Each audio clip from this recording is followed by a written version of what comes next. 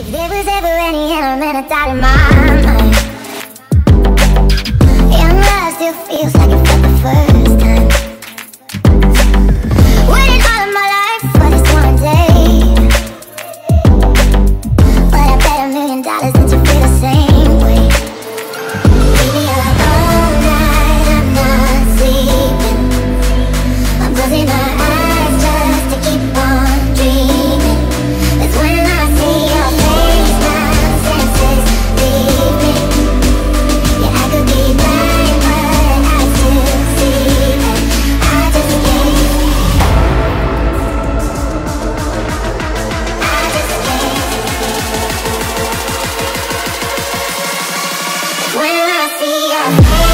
Thank you.